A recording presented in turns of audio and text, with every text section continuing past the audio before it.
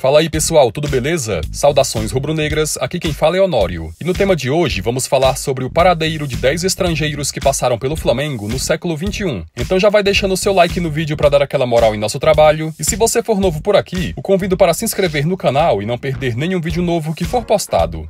Então, sem mais delongas, vamos ao que interessa.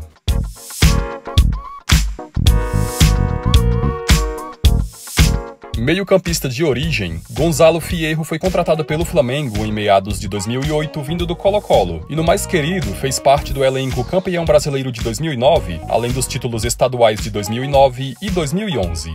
Nunca teve o status de titular absoluto durante a passagem pela Gávea, e além de atuar como meio-campista, também quebrou o galho atuando como lateral direito. Permaneceu no Fla até o final de 2011, onde no ano seguinte foi repatriado pelo Colo-Colo, jogando ainda mais sete temporadas no clube que o projetou e atualmente, já com 36 anos de idade, defende a camisa do Antofagasta da primeira divisão chilena. O volante Cláudio Maldonado, assim como Gonzalo Fierro, iniciou sua carreira no Colo-Colo e no futebol brasileiro, antes de jogar no Flamengo, defendeu as camisas do São Paulo, do Cruzeiro e do Santos. Após duas temporadas atuando no Fenerbahçe da Turquia, o chileno em meados de 2009 foi contratado pelo Flamengo como um dos reforços para o Campeonato Brasileiro, e com suas atuações seguras que deram consistência à defesa, foi peça fundamental na conquista do hexacampeonato. A passagem de Maldonado pela Gávea foi marcada por lesões, tendo jogado com mais regularidade apenas em 2009, e ao final do seu contrato em dezembro de 2012, deixou o Flamengo. Ainda jogou pelo Corinthians em 2013 e entre 2014 e 2015 retornou ao Colo-Colo para encerrar a carreira. Atualmente, Maldonado trabalha como auxiliar técnico. O meio-campo argentino Dario Botinelli iniciou sua carreira no São Lourenço em meados dos anos 2000, mas foi na Universidade Católica do Chile que o jogador veio a se destacar, onde posteriormente foi vendido ao Atlas do México. Em 2011, o Meia foi anunciado como novo reforço do Flamengo e na Gávea alternou entre titularidade e banco de reservas. Nas duas temporadas em que vestiu o manto rubro-negro, Botinelli entrou em campo 90 vezes e marcou 11 gols, sendo dois desses gols no inesquecível Fla-Flu válido pelo Campeonato Brasileiro de 2011, quando o jogador veio do banco de reservas e comandou a virada flamenguista deixou o Mengão em janeiro de 2013, se transferindo para o Coritiba, mas a passagem pelo Couto Pereira foi marcada por lesões. Após deixar o futebol brasileiro, jogou mais uma vez pela Universidade Católica, passando ainda pelo Toluca do México, pelo Ginásio Esgrima da Argentina, pelo América de Cali da Colômbia e pelo Audax Italiano do Chile, e em 2019 defende a camisa do Atlético União da primeira divisão argentina. O volante Victor Cáceres começou a jogar futebol no Libertado Paraguai, tendo defendido a camisa do clube por quase 10 temporadas. Em meados de 2012, assinou com o Flamengo por quatro anos, mesmo após o clube que o revelou ter feito jogo duro para liberá-lo. No Mengão, o pé de pano fez parte do elenco campeão da Copa do Brasil de 2013 e do Campeonato Carioca de 2014, e com seu jeito raçudo e que não dava moleza para os adversários na cabeça de área, era bastante querido pela torcida. Em 2015, o Flamengo negociou o volante com o Al Rayyan do Catar, clube no qual o paraguaio defendeu por dois anos. Desde 2017, Cáceres é jogador do Cerro Portenho. Nascido no Rio de Janeiro, o zagueiro Marcos Gonzalez, ainda criança, foi morar no Chile, onde começou a jogar futebol nas categorias de base da Universidade de Chile. Foi alçado aos profissionais do clube no final dos anos 90, mas a passagem de maior destaque com a camisa da equipe que o projetou foi em 2011, quando fez parte do elenco campeão da Copa Sul-Americana sob o comando de Jorge Sampaoli. Ainda em 2011, Gonzalez foi eleito o melhor zagueiro das Américas, desbancando na eleição o vascaíno Dedé. Em janeiro de 2012, foi contratado pelo Flamengo e na Gávea fez parte do elenco campeão da Copa do Brasil de 2013. Mas em 2014, o jogador caiu no esquecimento, não sendo aproveitado pelo técnico Jaime de Almeida, solicitando de imediato a rescisão do seu contrato para retornar ao futebol chileno. Jogou ainda no União Espanhola, no Necaxa e no Palestino, e atualmente, com 39 anos de idade, está sem clube e prestes a anunciar a sua aposentadoria. Frickson Eraso foi revelado pelo El Nacional do Equador, mas foi no Barcelona de Guayaquil que o zagueiro viveu seu melhor momento na carreira, chegando até a seleção de seu país, vindo a disputar uma Copa do Mundo. Em 2014, o Beck foi contratado pelo Flamengo, mas a passagem do mesmo pela Gávea foi bem ruim, chegando a ser expulso logo no seu jogo de estreia.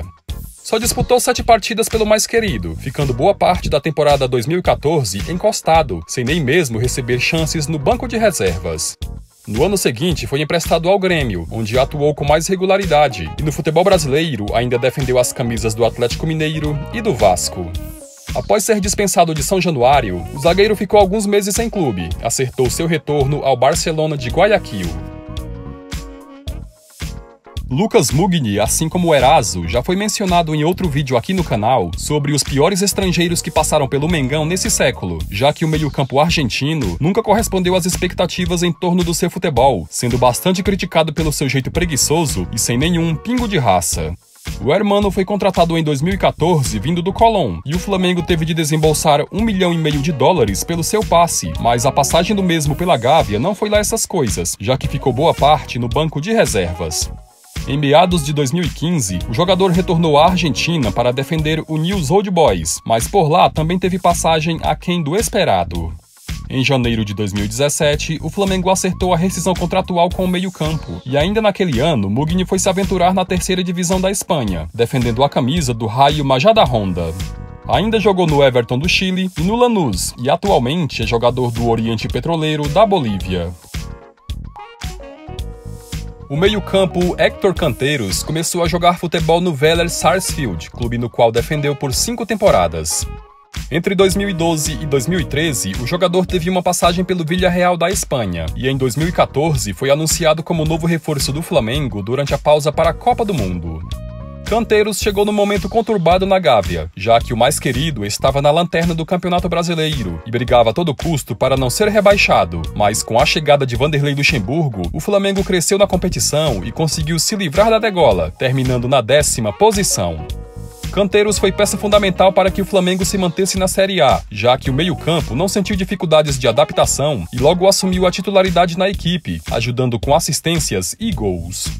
Em 2015, o argentino continuou a atuar com regularidade no time titular, mas em 2016, com a chegada de Murici Ramalho, o meio-campo caiu no esquecimento e foi pouco aproveitado, vindo a deixar o Flamengo e retornando por empréstimo ao Vélez. Ainda jogou na Chapecoense entre 2017 e 2018 e atualmente é jogador do Ankara Gokul da Turquia. O polivalente Federico Mancoelho surgiu no Independiente no final dos anos 2000 e pelo clube de Avedianeda foi campeão da Copa Sul-Americana de 2010, em final vencida sobre o brasileiro Goiás. Entre 2011 e 2012, o jogador foi emprestado ao Belgrano para ganhar experiência, ficando na equipe de Córdoba por uma temporada, até retornar para o Rei de Copas. Com passagens pelas seleções de base e principal da Argentina, o Meia em 2016 foi contratado pelo Flamengo, que desembolsou 3 milhões de dólares para tirar o jogador do Independiente. Mancu alternou entre titularidade e banco de reservas durante os dois anos em que esteve na Gávea e foi importante em algumas partidas do Campeonato Brasileiro de 2016, quando o Flamengo chegou a brigar pelo título. Em 2018, o jogador foi vendido ao Cruzeiro, clube em que só atuou por um ano, e em 2019 defende as cores do Toluca do México. Alejandro Donati começou a jogar futebol no pequeno 9 de julho, onde se profissionalizou em 2004. O zagueiro perambulou por alguns clubes pequenos do futebol argentino até se destacar no Rosário Central, tendo sido eleito o melhor zagueiro da Copa Libertadores de 2016. Foi também em 2016 que o Beck foi contratado pelo Flamengo, mas a passagem do Hermano pela Gávea foi bastante decepcionante, já que atrapalhada por lesões, pouco jogou, e a maior lembrança que a torcida tem dele foi uma falha grotesca que cometeu na goleada sofrida de 4 a 2 para o Figueirense, em jogo válido pela Copa Sul-Americana. Sem espaço no rubro-negro, Donati foi vendido para o Tijuana do México, onde jogou a temporada de 2017, e em 2018 foi repatriado pelo Racing, clube que defende atualmente e que foi recentemente campeão argentino, onde o Beck, inclusive, foi eleito o melhor da posição. Bom, galera, espero que tenham gostado e reforço mais uma vez o pedido para que deixem o seu like, pois isso é de extrema importância para o engajamento do vídeo. Eu vou indo nessa e até o próximo tema.